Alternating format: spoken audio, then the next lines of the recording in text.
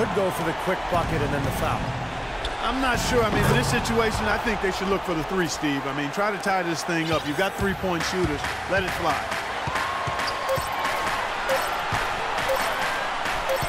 For the win. Oh!